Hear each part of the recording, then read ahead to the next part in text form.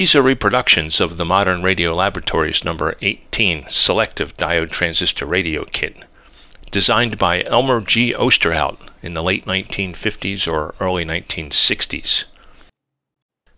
The last actual MRL kit was sold sometime prior to the spring of 1987 when Elmer passed away. It uses a 1N34A crystal diode as a detector and a general purpose PNP transistor as an amplifier. The set employs two tuned circuits, so you actually need two hands to tune in a station. Selectivity of the set is adjustable by changing the distance between the coils of the two tuned circuits. Plans to build this set can be found in MRL Detail Print 18. There's a link to it below in the description. I use this detail print as well as an actual kit to try to make a faithful reproduction. Here's a closer look at the top of detail print 18. Top left we have a schematic diagram of the radio. To the right of that is a drawing of the coils, and under it are instructions on how to make the coils. Under the schematic is a picture of the layout of the chassis as you're looking down on the radio. And to the right of that is a pictorial diagram showing how the parts are connected. Thanks to Jeff Schmidt of Washington, D.C., you can now find the 1963 MRL catalog online. This is the entry for the MRL number 18 on the left. If we scroll down a little, you'll see that Elmer wrote, around here we picked up 24 stations. Now, where was around here? Where did Elmer live? From 1952 till 1966, Elmer and Modern Radio Laboratories were in Redwood City, California. There are still 10 local radio stations you could pick up there with a crystal radio, and they're all from San Francisco. San Francisco is where Elmer's wife Mabel was from, and San Francisco is where modern radio laboratories ended up during the Great Depression. Getting back to the catalog, if we scroll to the bottom, you'll see that this set sold in 1963 for $7.95. But Elmer would build it for you for another $2. $2 in 1963 is worth $21 in 2025. Here's an actual number 18 kit from MRL. I got this from eBay. On the lid it says Extel set kit to build, but he never built it. Here's the front panel. It's countersunk on the back to allow for the variable capacitors. Now here's the base and the rails attached to the base. The rails are to allow the primary coil to slide back and forth. And here's the primary coil on its base. These coils were hand wound by Elmer Osterhoudt himself. And here's how it slides back and forth in the rails. Next we have the secondary coil. You know, this set is one of those things that's not worth anything and it's priceless at the same time. Next is one of the variable capacitors wrapped up in newspaper with the number 18 written on it. It's very fortunate that this newspaper survived. The newspaper gives us the date of the kit, January of 1982.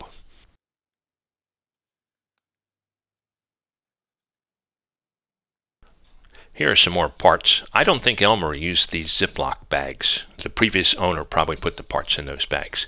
These envelopes, however, are original this one has the transistor in it, and this other one has the dial scales for the front panel.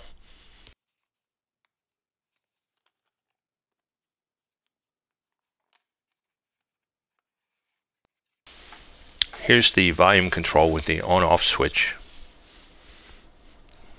a knob, and this is the MRL made battery holder. Here's my version of the MRL battery holder. And I've got some extra parts here left over. Some of these parts didn't quite pass quality control.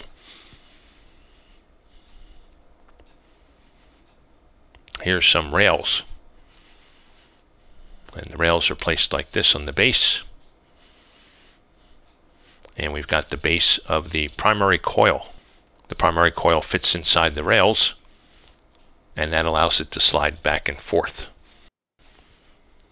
Here's an extra coil form. This did pass quality control, I just have some extras. I had to buy 8 feet of PVC to get that. And here's a primary coil. It's just as good as Elmer Osterhoudt.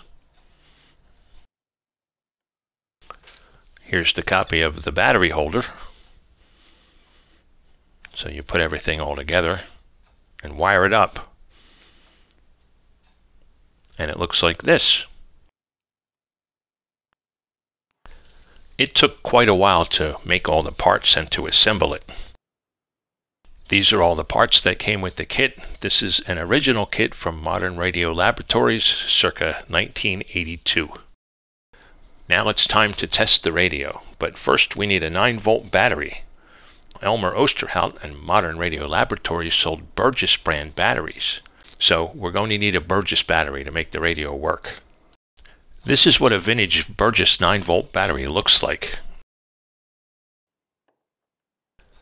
I ain't even putting no modern looking battery in this here radio. So we're going to take this modern battery and we're going to paint it. And then after we paint it, we'll make some water slide decals and we'll put some water slide decals on the painted battery. And here's the result. Darn if that doesn't look like an actual Burgess battery. Now I'm full of myself. Well, I'm full of something. When you connect the battery on this little radio, it's important to make sure that the on-off switch is in the off position. If you were to accidentally put the battery in backwards, even for a second, it could damage the transistor. When it's in the radio, you can hardly see it, but that's quite all right.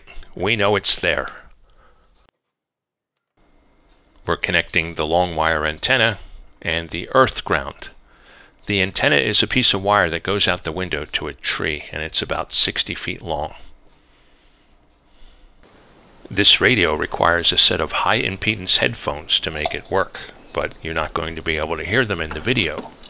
So we'll use this amplified speaker. Amplifier on, radio on.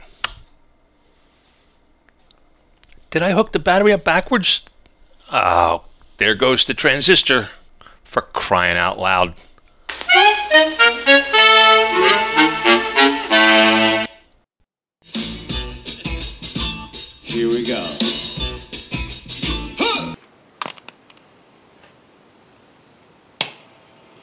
Volume 2. Enter to win at WFIL.com. Hi, I'm Charlie Kirk with TPUSA Faith. I want to remind you how powerful Christian radio can be. You see, for generations, AM radio has brought the hope of the gospel, biblical teaching, and encouragement right into our homes and cars, especially in times of crisis. But now, some automakers want to eliminate AM radio from new vehicles. Let's stand together and protect.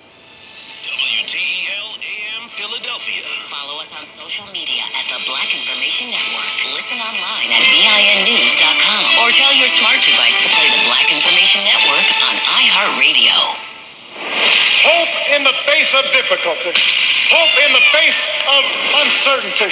The audacity of hope. Zero, one, two, three. Uh, or the Rover Radio app, okay? Hey, and we have to end with a memorare as we always do. Rather than for the couple that's going to need it, let's just say a memorare in gratitude for our mothers and those wives who have made us fathers. Remember, O most gracious Virgin Mary, that never was in New York. Loud and clear. I really like Larry Mendte in the morning. He was a news guy, so he knows how to ask all the right questions. Yeah, I'm hooked. Always the voice of New York. 710 WOR. An iHeart radio station. It is now 79 degrees and 7 o'clock. Good evening. I'm Liz Warner. Five people now confirmed dead following a tour bus crash in western New York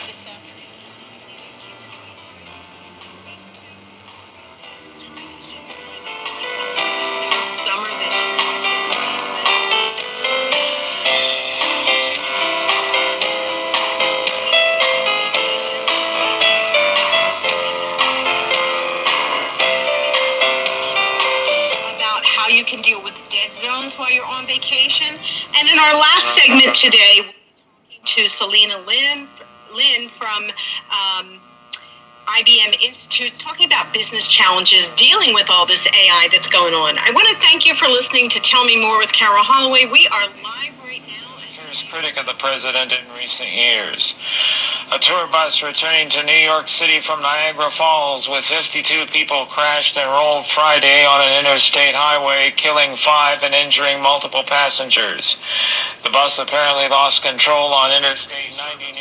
SEPTA uh, General Manager Scott Sauer. If a deal were to happen over the next 48 hours, um, we will do everything in our power to to try to put as much service back on the street as we can.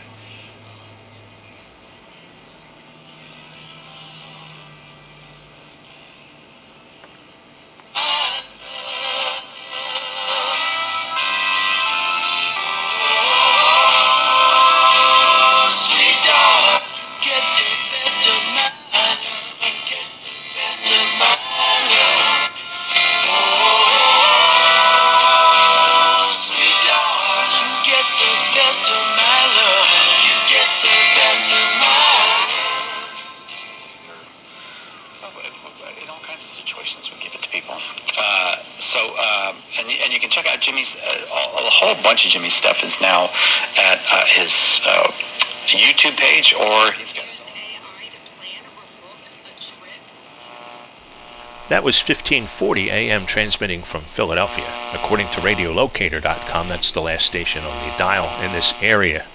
There used to be a lot more stuff up here, including the Pennsylvania Turnpike, but it's all dead air today.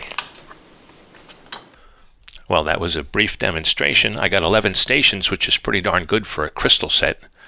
Uh, if I had finagled with the dials a little bit, I could have picked up 12 stations. I could have gotten AM 1210. I have to admit, I'm very impressed with the performance of this set considering how small those coils are.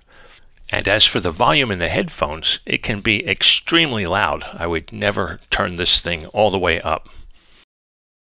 You may have noticed that in the demonstration I did not alter the selectivity of the set by adjusting the distance between the coils.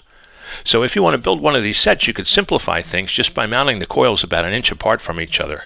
That way you don't need to make those rails or that slider thing for the coil.